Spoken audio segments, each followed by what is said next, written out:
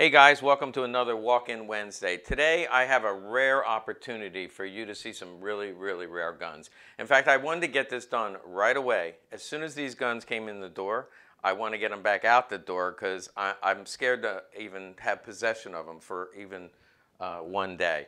Uh, these are two and a half Singers, the 1911 A1, which generally the World War II variation versus the 1911 from World War I. But uh, the Singer is a very, very rare gun. Some of you are already very, uh, very aware of that. I have uh, one, two, we'll talk more about these, and a half. Two and a half Singers.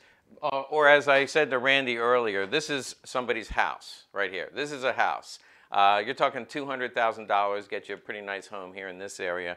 Um, so let's go over this Singer, a little bit of background about it. They are very unique. I do not own these and they are not being offered for sale. Uh, a good friend of mine, collector in the area, I knew he had two Singers and I said, hey, I'd love to do a video about the Singer. Um, could you bring him in? And lo and behold, he had two and a half. I'll explain that. So the Singer, uh, Singer sewing machine, uh, before the war started, 1939, got a contract to make uh, 500 Singer 1911 Colts. Now, why Singer? Uh, good question. I'm not sure why, but the Ordnance Department uh, came to Singer and said, how quickly could you tool up uh, from your sewing machine equipment into making 1911 uh, Colts? Um, and so it was an experiment. I, I assume they gave them money from the government to do a test. How long would it take for you to tool up and make 500 uh, guns? Why would they do that in 1939? By the way, every Singer, there's only 500 made. Every Singer was made before the war even started. Uh, a little conjecture would tell me that the, the government knew that we were going to go to war, and when we did, everybody was going to have to revamp uh, consumer-based uh, product to military-based product. Why Singer? Again, a little bit of conjecture. As I read um, the history of the Singer Sewing Machine Company, they made very uh, they made the world's best sewing machines and did it very well. They had factories in Europe. In fact, they had a factory in Scotland and they had a factory in Germany. So in 1939, as you know, the war started in Europe, but not in the United States. So my, my thought is, first of all, Germany was already using, uh, they, they basically took over the factory and were making war equipment for the Nazis. And in Scotland, England was already at war with Germany. So Europe was at war, and the United States was not pulled into it yet, but they knew they were going to have to um, make equipment that would help defend uh, freedom. And eventually the United States, of course, got into the war. So before Pearl Harbor, 500 Singers were made. Why? As a test to see how quickly we could ramp up and, um, and put out 500 of these. Why did they stop making them? The truth is they were so well made. Uh, Singer had much more precision equipment than the other gun makers. Um, and it was so uh, precision, such good quality that they ended up uh, uh, saying, uh, never mind about the 1911s, they had other companies make them. I'll go over that in a minute.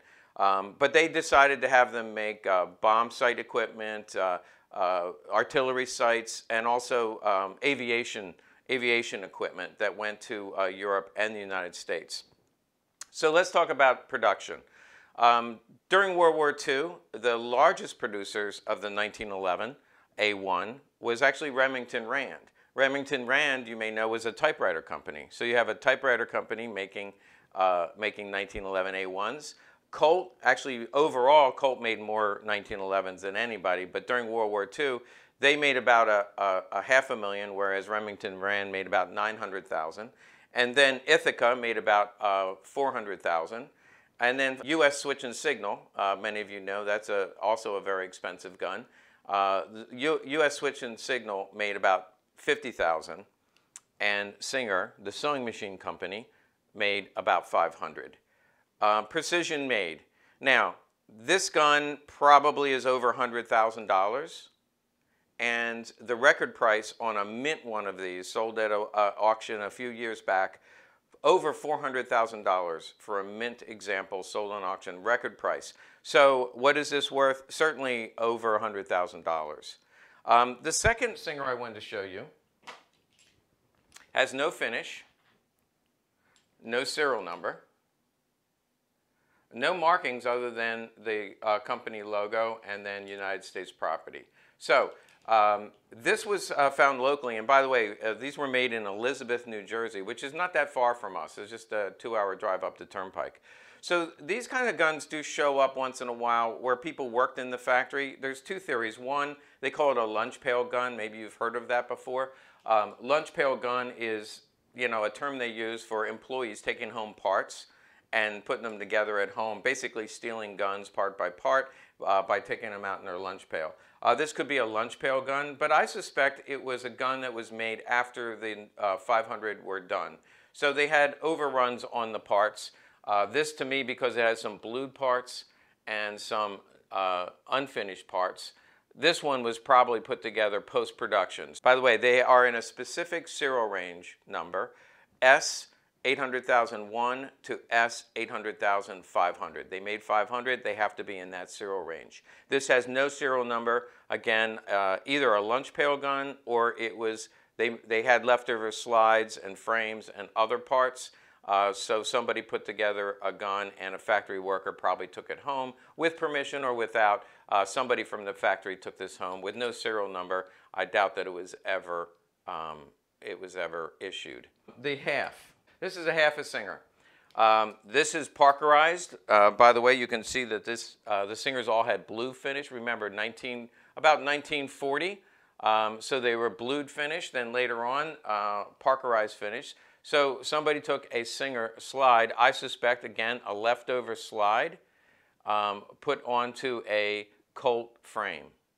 Um, so it's a half a Singer. First and foremost, don't buy a Singer without consulting with somebody who knows what they're doing. Somebody smarter than me, by the way, because if I ever bought a Singer, which not sure I ever would, but if I ever bought one, I, I know people that I could contact. There are known serial number, you know, there are known singers out there that have been authenticated. And if one came out of the woodwork, I would want to get it checked out thoroughly by some experts. People generally will engrave the serial number or engrave the markings. We've had some come through here, not singers, but other guns where somebody wants to boost the value, so they maybe put it in a, a certain serial range or they change the markings to make it military issued. Uh, so you have to be real careful. The other, other factor is um, look at the P. Uh, the P on the top of the slide on the um, Colt, it is right side up. On the Singers, the, the P is upside down. Also, uh, the inspector proof is JKC. Singer is the only one. It was John K. Clements. Uh, they were the only ones that had that inspector mark. Um, of course, the, the Singer marking. And the test that I love the best, remember I said they, they made such a quality piece. Um, the tolerances or the, uh, the quality of, of the metalwork was so precise um, that you'll, you'll, you can feel the difference. Uh, this would be a Colt. I'm going to hold it up to the mic. This would be a Colt. Hopefully you can.